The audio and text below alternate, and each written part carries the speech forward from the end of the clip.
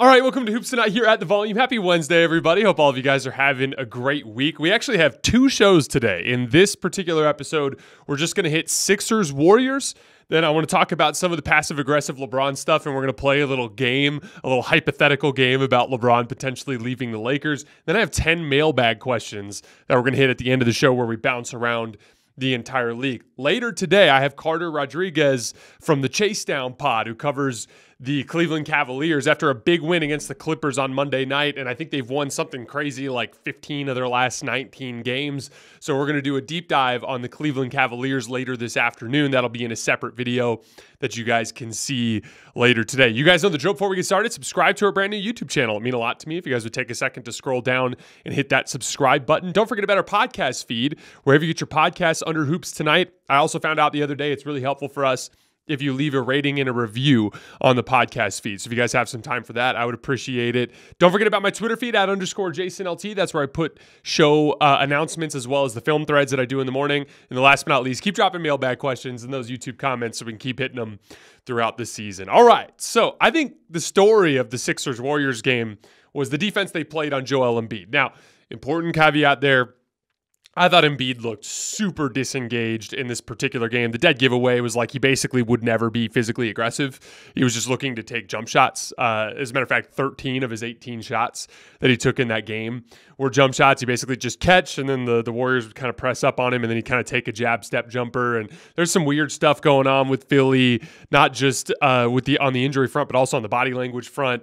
It's uh, a little weird. That said, I want to give the Warriors some credit. They were swarming. Uh, specifically, one of the things you saw both Kevon Looney and Draymond Green do is chest up Joel Embiid with their arms out wide to the side, basically making it so that they could play like physical ball pressure without actually risking fouling on those reach in, you know, because Joel Embiid's always like digging those arms out in front of him in a weird kind of like jump shot, uh, a gather to try to draw fouls, right? And that's one of the most important parts of guarding Embiid is contesting those shots without fouling. And then from there, it's like digging down into driving lanes and swarming him, especially when he puts the ball on the floor and turns his back. And they were doing a great job every single time Embiid did put the ball on the floor by reaching in from behind. Jonathan Kuminga got a few steals in particular. They actually forced him into eight turnovers overall. I think he was like five for 18 from the field. Just an excellent defensive performance from the Golden State Warriors. And, you know, Draymond Green, I thought, played a big part in this. I thought he did just an incredible job on Joel Embiid and the possessions he was on him. And I think a lot of times, like, one of the things that we gloss over in the uh, in the NBA postseason is the capability that your roster has to make real significant impact on opposing stars. Because like when you really look back, like let's just take a look at the 2022 postseason run, for example, and point out some specific examples of the way the Warriors defense didn't just do a good job, but actually led players to having struggles in in, in real ways. So for instance, like in that first series against the Denver Nuggets. There was a big play, I think in game five, if I remember correctly, where Nikola Jokic was, I think it was actually game four when they went up 3 1. I can't remember exactly which game it was. But do you guys remember it was a one possession game late? Nikola Jokic was attacking Draymond Green in the post on the left block, and Draymond Green actually got a reach around steal on him. Like, how many players do you know that are capable of going on an island? Against one of the top five players in the league in a big moment and picking them clean. And that's what Draymond Green brings to the table as like a transcendent defensive option, right? And then looking at the Dallas Mavericks series between Andrew Wiggins' ball pressure, the good job they did on the back line, helping without helping too much off of shooters. Like Luka put up statistical numbers, but he was nowhere near as uh, he put up box score numbers, but he wasn't as impactful as an offensive initiator in that series. In fact, he was down a significant level from where he was in the Phoenix Sun series. And that's an example of what that transcendent defensive impact can do. And then lastly, the Jayson Tatum series in the in the against the Celtics in the NBA Finals, they sent him into one of his worst playoff series as a pro. And that just goes to show you like that specific element, having defensive weapons the caliber of Draymond Green, the caliber of Andrew Wiggins, they can go a long way towards swinging playoff series by causing opposing stars to play well below their capability. I thought last night against Joel Embiid was a great example of that. Like, don't take Draymond Green for granted. Like, his ability to impact the game defensively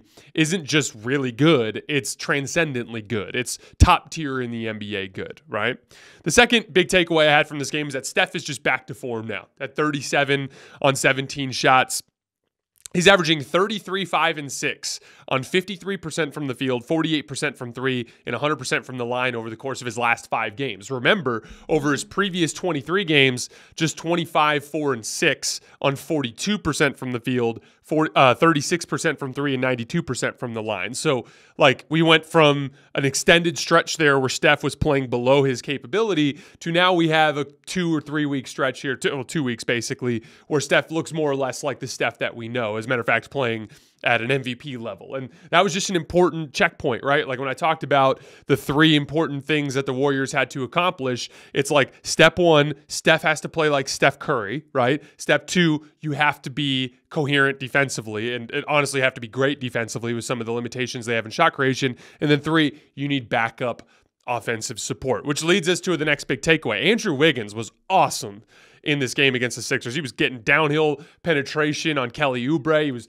rising up around the rim and dunking everything on cuts. That's an area where he's been really bad this year. He's been really timid and soft around the basket. And I pulled this stat uh, last week, but like uh, before the last couple of games, Andrew Wiggins was down something crazy, like eight or nine percent on layups around the basket uh, compared to last year, and so that that just go uh, compared to the 2022 season. Pardon me. So like seeing Andrew just going up with more confidence around the basket as an athlete, like dunking everything, hanging on the rim, just having that like force and power behind his game is super, super encouraging. He had 23 points on 10 shots last night in this uh, four game stretch.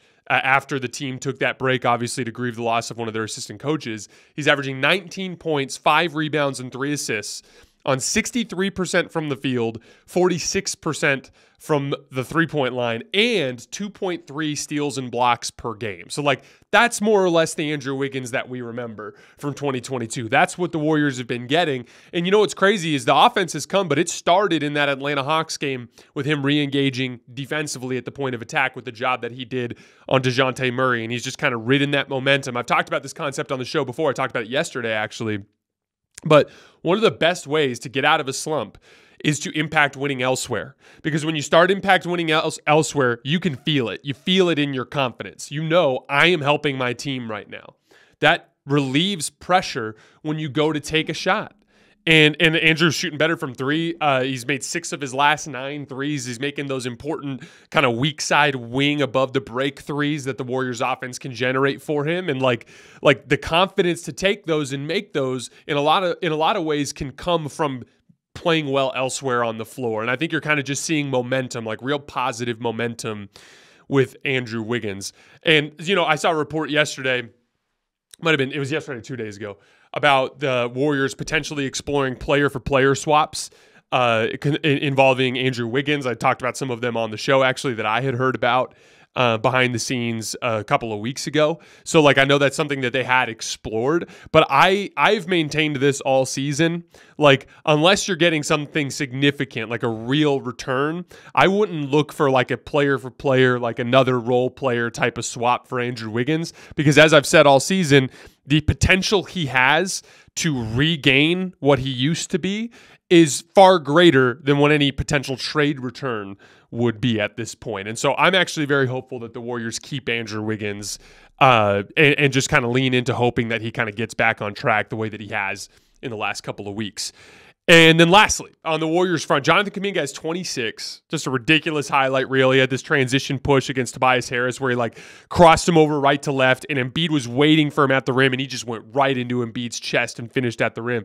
There was another one where he kind of slashed from the top of the key, and he took off like he was to dunk on him, and like took the content uh, contact and then whipped around with like a scoop shot off the glass. It was ridiculous. He's dunking on everyone on these cuts that he ca- uh, catches underneath the basket He's hitting pull up jump shots. He's hitting above the break threes. He's just, it's outrageous. Like, like we're watching an incredible rise. Remember, Jonathan Kuminga, before this stretch, had never put two 20 point games together in a row. Never. He had never done it.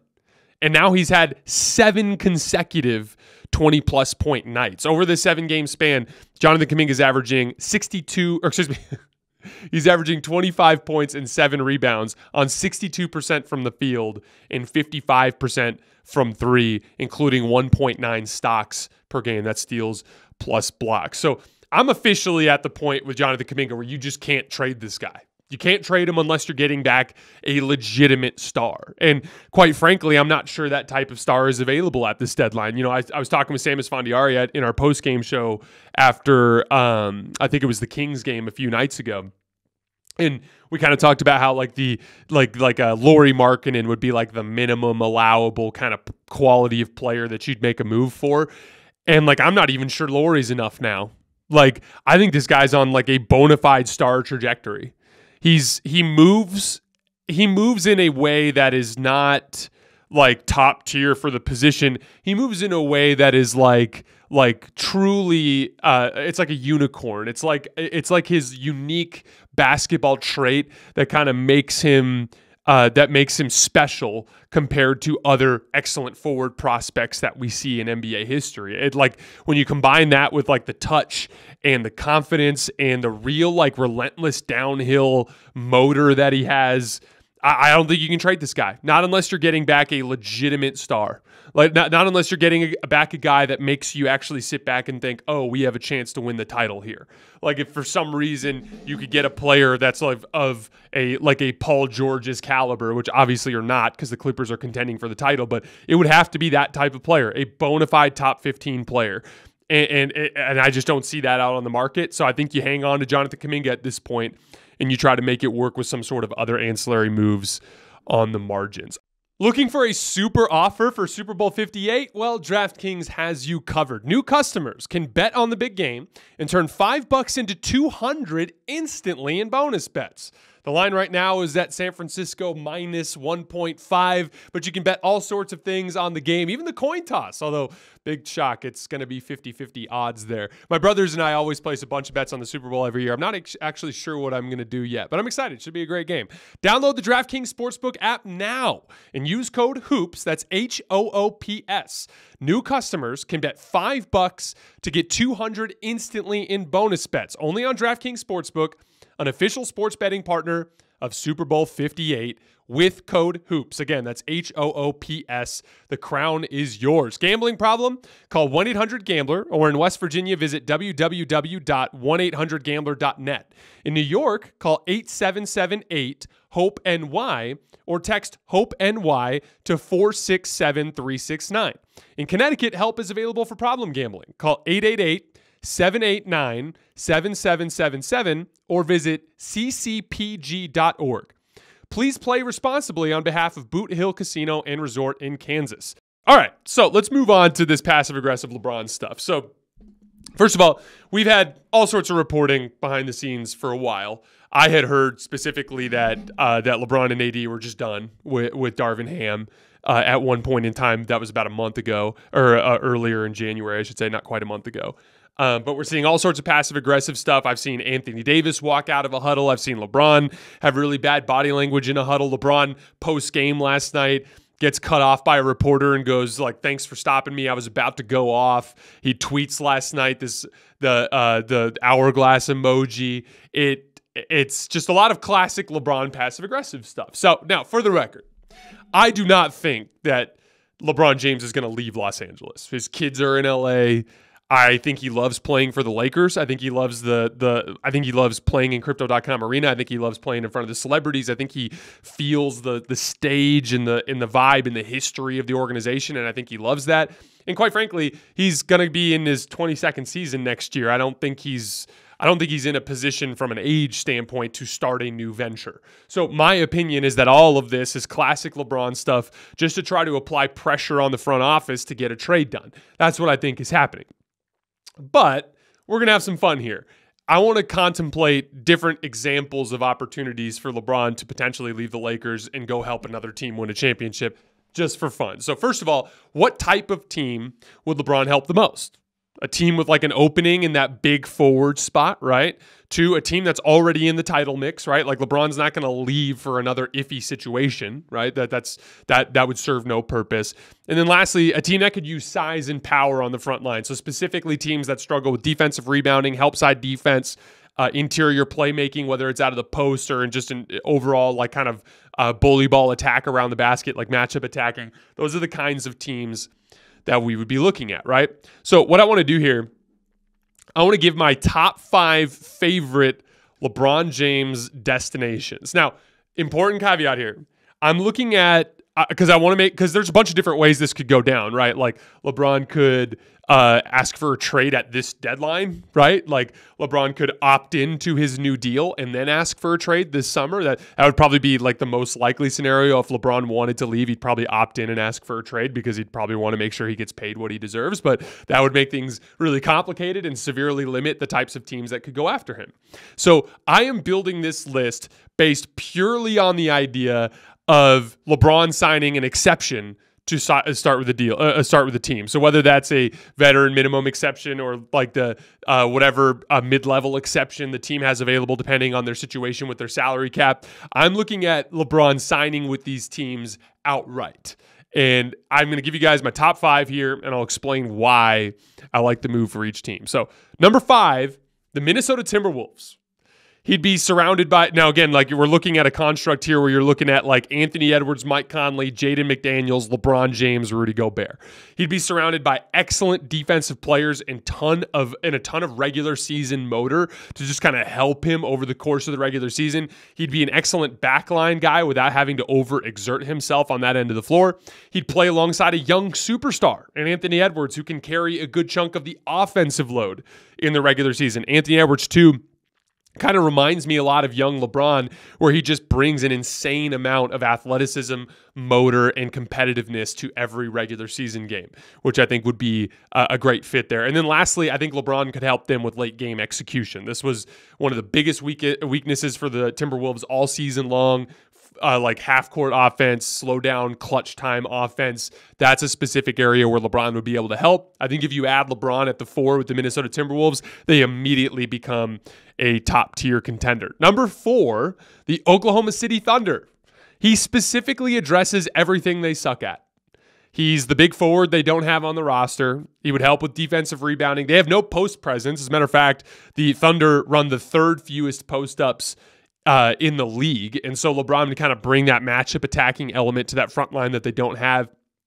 And he provides the experience and leadership that a team like this would need to navigate a deep playoff run. And once again, just like we talked about with the Timberwolves, a young team with a ton of defense and shot creation and athleticism and motor to carry them through the regular season. So, important context with number five and number four Minnesota and Oklahoma City are really small markets.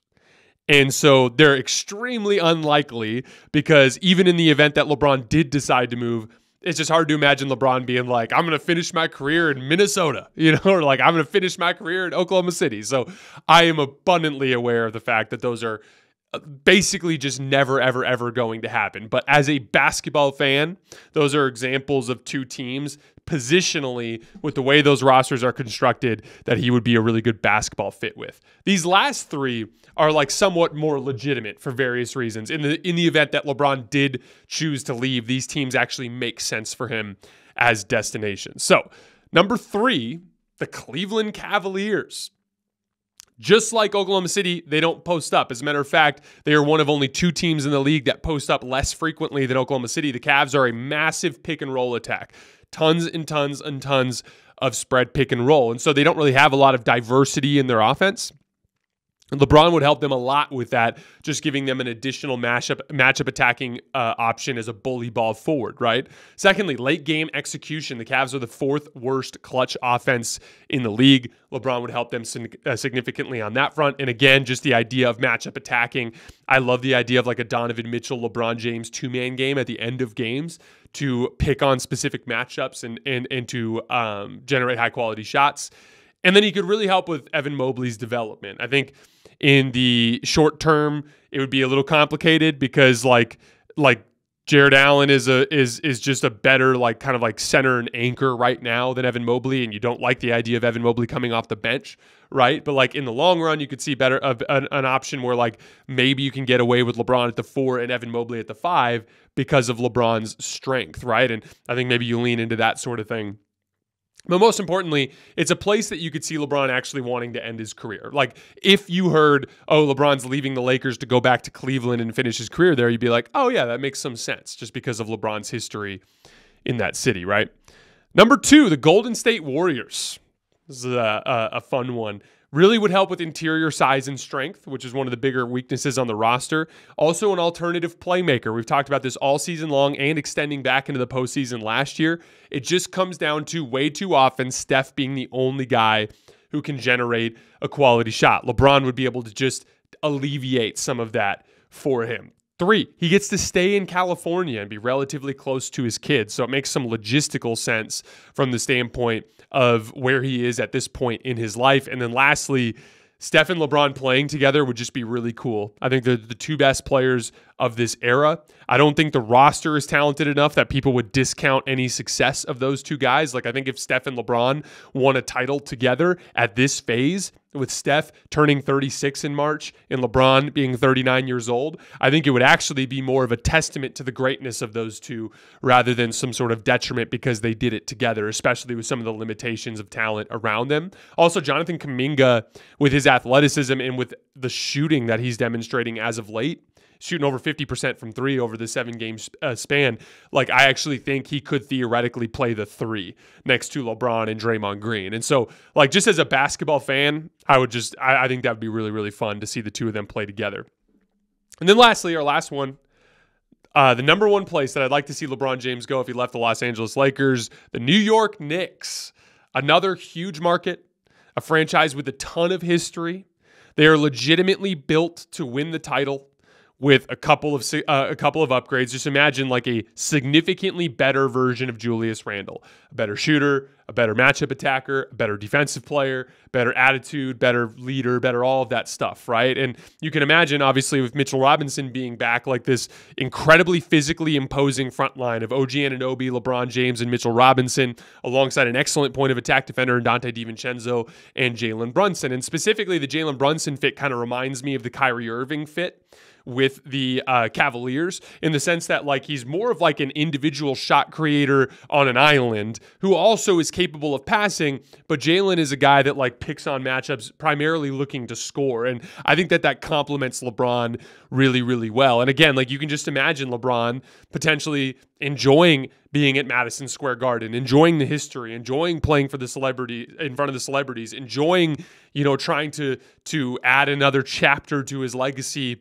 in reviving the New York Knicks, although they've already kind of started that revival, right? But like of all of all of the uh, the teams out there, there are a lot of options that make sense. But I thought the New York Knicks had that best balance of like he would get the majority of the credit, and you know how much that matters to LeBron, the history, the franchise, the actual proximity to championship contention. It just makes a lot of sense on that front.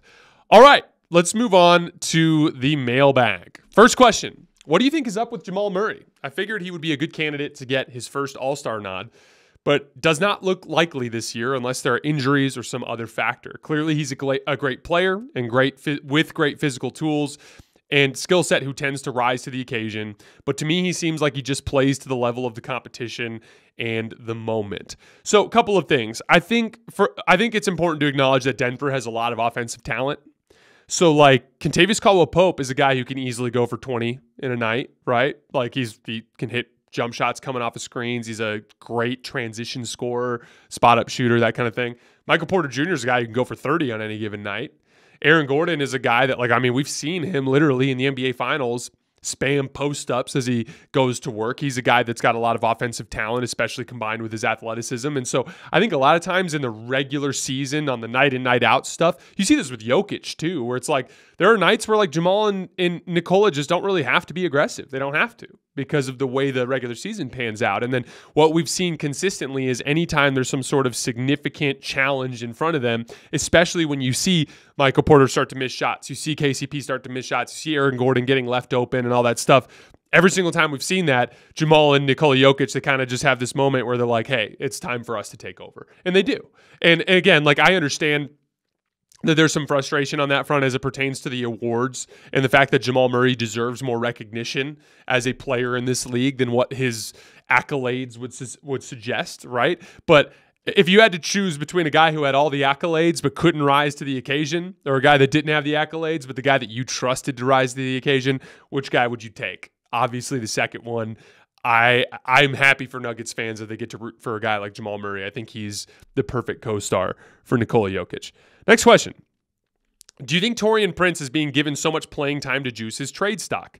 I know his contract isn't as big as, say, D'Lo, but alongside someone else, he could make a desirable offer. Vando and Rui are the playoff wings, but they've had injuries this season. Maybe Ham is thinking of it in a load management sort of way. So uh, the digging I've done behind the scenes uh, uh, would lead me to believe that the Lakers are primarily pri- prioritizing uh, Taurean Prince because of his shooting. Just a, a, a it's a simple uh, a simple a concept of spacing. He shoots 39% from three, and I think they're just kind of keeping it at that level. But there's no legitimate basketball reason for Taurean Prince to be starting at the three. Historically in the NBA, he's been a bench player. I mentioned this stat the other day. Taurean Prince has started more than twice as many games this season as he has in the previous three seasons combined. He's a bench wing perfectly fine bench wing, but he's being asked to do more than he's capable of right now. I I was doing uh, lineup data stuff for the Cleveland Cavaliers video that I'm doing later today with Carter Rodriguez. And I found this gem for you guys. There are 22 five man lineups in the NBA that have played at least 200 minutes this year. The D'Angelo Russell, Austin Reaves, Taurean Prince, LeBron James, the uh, uh, Anthony Davis lineup is being outscored by four and a half points per 100 possessions, which is the second worst mark in that entire list. Literally 21st out of 22 teams. So, like, there is an extensive bit of evidence that that lineup does not work. For everything Darvin Ham is focusing on on the spacing side of things, it is a basic misunderstanding of the way the modern NBA works. In the modern NBA, there is a ton of perimeter speed and athleticism, and teams are trying to drive and kick you to death once they get into rotation, whether it's through the post or whether it's through pick and roll. You need perimeter speed, you need perimeter strength. And the Lakers have perimeter speed and strength in the form of Jarred Vanderbilt, in the form of Max Christie, right? Like they have guys that can do that sort of thing. They need more. Like I, I'm a big believer that even the Jarred Vanderbilt in the starting lineup situation has some playoff limitations, and that's why I think a trade needs to be made, and that's why I'm kind of withholding any sort of big picture evaluation of the Lakers until that point. But the bottom line is that three man grouping with Taurean at the three very clearly is not good enough. They can't defend, they can't rebound. It's a huge problem. They're bad on offense, they're bad on defense, they're bad on the glass. It's like even even the spacing concepts that the Lakers are envisioning with Taurean Prince at the three are not coming to fruition. The offense is not good with that five man grouping. And it has nothing to do with Taurean making shots. Taurean Prince has had 10 games this year where he's made at least four threes. The Lakers lost his minutes in six of those 10 games. They're minus 20 in those 10 games. So even uh, uh, in, in Taurean's minutes in those 10 games. So even when Taurean's got the three point shot going, it's not helping them. It is legitimately one of the most, con- like, it is legitimately one of the worst consistent coaching decisions I've seen made in a in a very long time. There are better basketball players than Taurean Prince on the roster right now, even if we acknowledge the Lakers need to make a trade. And Darvin Ham is deliberately handicapping the team by starting every single game in half with a lineup that is doomed to fail. And and, and I I don't really know what else to say. I this is a consensus around the league, not just with Lakers fans, but with non-Lakers fans. All of the data clearly demonstrates this, and Darvin Ham is either completely oblivious to it or he just doesn't care. And and, and it's it's it's truly confounding to me. Next question. As a Dubs fan, Ant Man versus Shai Gilgeous-Alexander looks and feels like the new version of MJ versus Reggie. Both are great in their own way at the guard spot, and both are absolutely insane. I 100% agree. I was actually thinking about this this morning. Like, they're so different. Like, Ant is this incredible athlete who plays with a ton of power and verticality, while Shai is like this thinner, longer player who brings physicality to the position, but it's much more finesse and skill oriented. And so it's one of my favorite things about the game of basketball. Two guys that basically play the same position, that are basically even the same height, but that just play fundamentally different brands of basketball. I think you guys know me, you guys know the way that I see the game. I am always going to lean more towards that strength and power. And so, like, even though SGA may or may not be a better player right now, I think when we fast forward five years, it's far more likely that Anthony Edwards is a more impactful playoff player because he brings that two way element. Uh, not that Shai's not a good defender, but Ant's just a better defensive player, and he just has that strength and power element that he can inflict on the game. Next question. Chet has been so confusing to me on offense. When he's wide open for three, he's been pump faking and looking to drive, but when he takes contested ones in the heat of the game, he tends to hit them. Seems like as much as he still has to develop, he is also in his head a bit right now. Would love to see him just take these open ones. So I've noticed this as well, and it's a it's a classic young player thing. Young players uh, are, have a lot harder time seeing the forest for the trees. I know this because I was a young player once, obviously, and like when, I talk about this concept all the time. Young players struggle to identify what works and keep doing it, and they struggle to identify what's not work, working and stop doing it. It's a it's they they have a hard time seeing the bigger picture of basketball. And so the reason why he hits the contested one, seemingly, a big part of that is you just don't have much time to think about it. If it's a late clock situation and the ball ends up in your hands and a catch and shoot five on the shot clock that's relatively contested, but it's like the best shot your team can get on that possession, you just rise and fire. You don't think about it. And it can be the open ones that get in your head a little bit. But the bottom line is, is like, uh, it, it would be really bizarre if we saw a kid his age that just was consistently great on a night in night out basis, month in month out basis. This is part of the growing pains of being a young basketball player. Next question. Mailbag, love the show. Where's your rookie of the year so far? Or who's your rookie of the year so far this season? I'm a Spurs fan, so obviously I think Victor is. Your thoughts? So I agree it's Victor. A couple of different reasons for that. Like Chet's role with the Thunder is very different. Um, he's playing on a great team and getting set up with great opportunities as he's playing alongside great ball handlers. And that's not to say that Chet's not playing really well. Of course he is, and I'm a huge believer in Chet in the big picture. But Victor is playing on a team with some of the worst ball handling you'll ever see. And the, the bottom line is I just think I just think Victor is a little bit better as a basketball player. And I think he's showing that. The most encouraging trend so far this season for the um, uh, for Victor is the uptick in his efficiency. In his first 21 games this year, he only shot 43% from the field. And as a team, they went 3 and 18 in their last 20 games, Victor's averaging 22 points and 10 rebounds and 4 assists, 50% from the field, 35% from 3, 60% true shooting, and they're 7 and 13. They're actually just a shade under 500. So you're just seeing really good progress on that front. Also, there just aren't that many rookies in NBA history that walk in and average 20 points a game. I think that's significant. I think he's easily the rookie of the year at this point. Do you have a favorite move slash counter move combo from a specific player? So uh, I have a lot of just like any basketball player, I have a lot of specific like moves and combos that I've picked up from people. There's a like I have a lot of my in and out step backs are I stole from Damian Lillard. A lot of the footwork that I use on step back threes comes from James Harden. A lot of the uh, like off the dribble like combination stuff into pull up jump shots I've I've stolen from Paul George. But the biggest one that I would say my favorite uh, is because my, my biggest asset as a basketball player is my size and strength. I weigh 225, 230 pounds, depending on the depending on how much vacation I've been on lately and how much I've been eating and drinking. But I weigh a lot of I weigh a lot. I have long arms and I'm about six six. So uh, with that being the case, like I play like a power back to the basket game against smaller guards when they try to guard me on the perimeter. And so the big one for me has been, uh, and this this is actually something I built out over COVID uh, because it was not a part of my game when I was younger. But like basically just a back to the basket combination of right to left shoulder fades. So I have a drill that I do every single day. And I basically start on the left block, spin the ball out to myself, and I shoot a left shoulder fade and I shoot a right shoulder fade. Then I go to the opposite block and I shoot a left shoulder fade and I shoot a right shoulder fade. And I keep going until I make them. And then I go through that cycle four, uh, five times. So I make 20 total turnaround fadeaways, 10 over each shoulder.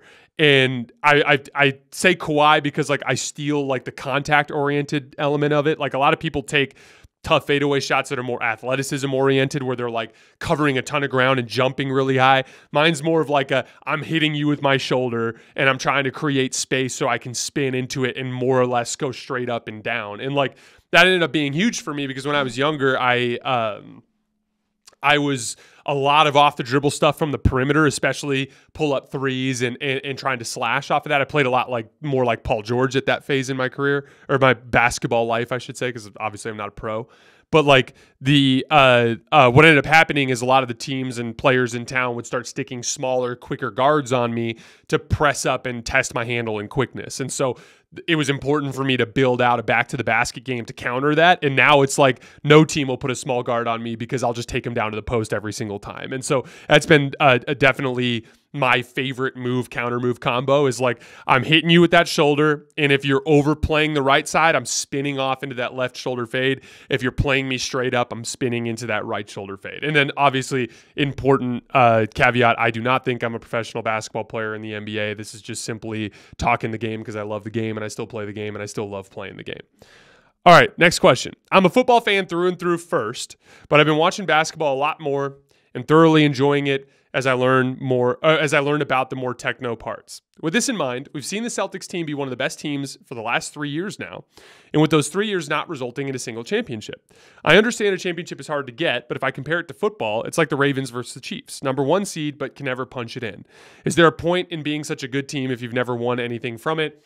And can you eventually write a team off if they can't punch it in in the postseason. So first of all, fun, uh, football and, and and basketball are fundamentally different in the way that like a quarterback a quarterback can impact winning, right? Like Aaron Rodgers, in my opinion, is the second best quarterback of that era, that Tom Brady era, right?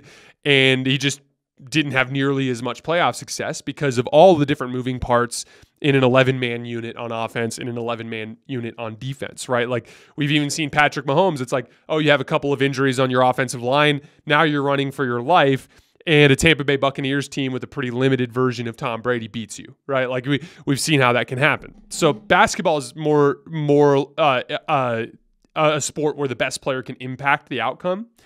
And you know, as much as like as much as I have frustrations with the Celtics, the reason why I could never be done with them is Tatum is still relatively young.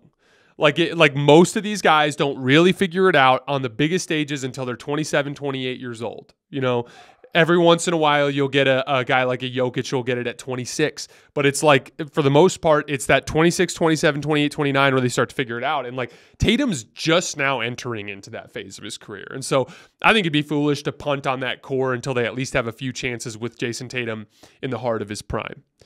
Next question. Three more you often talk about the Lakers' ability to turn it on in the playoffs, how their size and experience will be key in a Wolves or Thunder hypothetical matchup.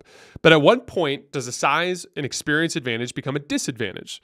At what point do the big veteran Lakers become the slow old Lakers and the young, inexperienced Thunder slash Wolves become the youthful, hungry, and spry Thunder slash Wolves. Eventually, these advantages slash disadvantages are going to flip in favor of the younger teams. You obviously think that that, that won't happen this postseason, but if not this season, then when? LeBron in 40, AD is a 30 year old big man with a lot of mileage.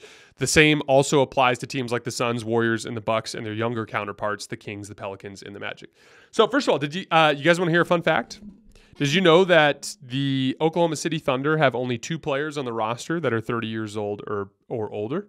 That is Davis Bertans and Vasilije Micic, if I remember correctly. Uh, guess who else only has two 30 old players on the roster? The Los Angeles Lakers. Every single player on that roster that's not LeBron James and Anthony Davis is less than 30 years old and Anthony Davis is only 30 years old. The specific issue for the Lakers is they actually have a lot of youth and athleticism. Like Rui Hachimura is an excellent athlete at that power forward position. Jarred Vanderbilt is an excellent athlete at that power, power forward position. Max Christie, Cam Reddish are excellent athletes at the two guard position. Jaxson Hayes is an excellent athlete at the center position. And more is just the the Lakers have this uh, uh, have this issue where the actual guys that are playing for them are not great athletes. Austin Reaves and D'Angelo Russell at this point kind of have to play because of uh, the way the roster is organized. But their issue is they play guys like Austin, D'Lo, Taurean Prince, massive minutes, and they're not great athletes. And so even though they're young, they run into athleticism and there's a problem. And especially when LeBron James – isn't engaged defensively. And I've said this many times on the show, but the reality is, is LeBron's defensive engagement has been the primary culprit of the uh, Lakers' defensive issues. Like I can't tell you how many times I'm watching on tape and I'm like, oh, LeBron could have made a play there as the low man, and he just chose not to. And so. one of the big reasons why the Lakers have been so good in like big time games on uh, against big time opponents and then so bad in other situations is like LeBron just engages himself defensively and suddenly the Lakers look more coherent defensively and and, and that goes a long way. The Lakers have actually been one of the top 10 defenses in the league this year against the top 10 offenses in the league. The Laker defense goes up a level when they play better teams. My concern with the Lakers is are they going to be able at this deadline to turn one of those skill non-athletic players that's at the top end of the rotation, swap them out for a more athletic version of that type of rotation player, which is why I keep going back to players like a like a uh, a Dejounte Murray or Bruce Brown. I've also seen like Royce O'Neale, Dorian Finney-Smith potential combinations coming from the Brooklyn Nets. If they can find a way to turn their top part of their rotation, the guys that aren't LeBron and AD, but the guys right below that, into a more athletic group that is also capable of scoring the basketball or making shots, that would go a long way towards alleviating some of their issues. But yeah, the Lakers have a lot of issues. Age isn't one of them. They are not an old team. They're LeBron is old, and that's it. It's it's a 100% an issue with the guys they play are primarily too unathletic, and so they have to find a way to balance their rotation so that there's a little bit less of the offensive skill and a little bit more of the power and force. All right, two more questions. When the Pacers traded for Siakam, I thought it was a great move, but I still think they're a move away, a significant move from being a contender. In your opinion, would you trade for Mikal Bridges to make them a contender? I understand the Pacers would have to give up Jarace Walker, their recent lottery pick, who has a high upside, but I think the move would be worth it. A starting lineup of Hallie, Mathurin, Bridges, Siakam, Turner could make the Pacers contenders next season. What do you think? So I, I, remind me if I'm wrong about this, but when I reacted to the Siakam trade, I think I might have pitched a Mikal Bridges trade. I can't quite remember. I don't want to take credit for it if I'm wrong, but I vaguely remember saying something along those lines. I really like that fit there. That's a positional archetype they don't have. They've got, you know, Aaron Nesmith is the kind of perimeter oriented forward on the team, but the problem with Aaron Nesmith is he's just a little bit on the short side. Um, I tend to like Aaron Nesmith still because I think he's kind of in that Bruce Brown archetype of like kind of lower center of gravity, lots of strength, really physical at the point of attack, which I find to be very valuable, especially in a playoff setting. He also can shoot the ball and he can slash off of catch and shoot situations. So like I I, I like Aaron Nesmith, but there's no doubt that Mikal Bridges would just be a much better version of that uh, of that archetype, more length, uh, more offensive pop it, like a legitimate, you know, third creator next to Siakam and Haliburton. I really like that setup. As far as championship contention goes, it's all about playoff lumps for me. Like Nikola Jokic didn't win the title his first run through the playoffs. That dude has been in wars. He lost to Anthony Davis, lost to the Warriors twice. Like he's been to the playoffs a bunch of times. He's been in those wars, right? It took lots of loss and building of scar tissue, the hatred of losing to get to the point where he succeeded in 2023. And the same goes for Giannis. The same goes for every single one of these guys. There are lumps along the way. You don't just walk into the playoffs and start winning. So, regardless of what the roster is, and this is a big believer. This is why I'm a big believer in getting there sooner than later. You want to get him to take those lumps, uh, Tyrese Haliburton meaning. And so, like, I think I, I think I love that idea, but the idea of them contending right away, I, I, would think they would need to take a loss or two in the postseason for them to actually get to the level of commitment they would need to win the title. All right, last question. Hey, Jason, a quick hypothetical mailbag. A lot of people have Tatum over LeBron in their player rankings. However, I firmly believe the Celtics would have won with LeBron in 2022 and maybe even in 2023. What are your thoughts on this? So, there's a huge difference uh, between like ranking players for the entire campaign from training camp through to the trophy to okay, we're healthy and we're starting a seven game series tomorrow or playoff run tomorrow, right? And I actually talked about this in the po- uh, in my um, uh, uh, player rankings this last summer, and I actually said in my player rankings. I think LeBron is a better playoff player than Jayson Tatum when he's healthy, but I think Jayson Tatum has a much better chance of being healthy when we get there. And we actually saw last year LeBron, even though he got through the regular season, he got to the playoffs and he was hobbled. And so, like, I tend to agree that I would take LeBron in a playoff setting over Jayson Tatum. He's just more experienced. He just, and at this point, he's just, LeBron's better than he was last year, even. But there's no doubt that Jayson Tatum is a better player for the 82 just because of his youth and his uh, his ability to kind of withstand the grind of the 82 game season at this point. All right, guys, that's all I have for today. Or I should say, all I have for this show. We're coming back later today with Carter Rodriguez, top Cavs. I will see you guys then.